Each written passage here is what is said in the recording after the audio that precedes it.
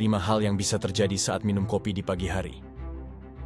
Pagi hari yang cerah, segelas kopi hangat adalah sumber kebahagiaan bagi banyak orang.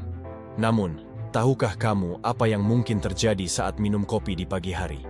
Mari kita lihat 5 hal menarik yang bisa terjadi.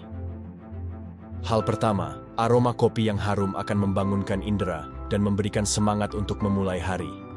Rasanya seperti sentuhan ajaib yang merangsang pikiran dan tubuhmu. Yang kedua, kafein pada kopi memiliki efek stimulan yang dapat meningkatkan fokus dan konsentrasi. Minum kopi di pagi hari dapat membantu memulai hari dengan energi, memainkan peran penting dalam produktivitasmu. Hal ketiga, kopi juga dapat meningkatkan suasana hati. Kandungan kafein dalam kopi dapat merangsang pelepasan endorfin di otak, senyawa kimia yang dikenal sebagai hormon kebahagiaan, membuatmu merasa lebih baik dalam menjalani hari. Yang keempat, minum kopi di pagi hari bisa menjadi ritual yang menenangkan.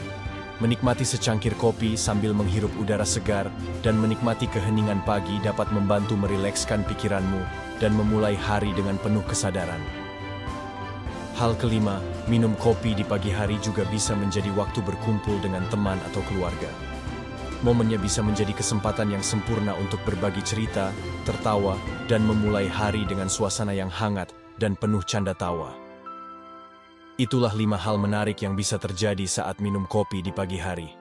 Mulai dari aroma yang menggugah selera, efek stimulasi yang meningkatkan fokus, hingga memberikan kebahagiaan dan kedamaian. Nikmatilah momen ini dan mari jalani hari dengan semangat.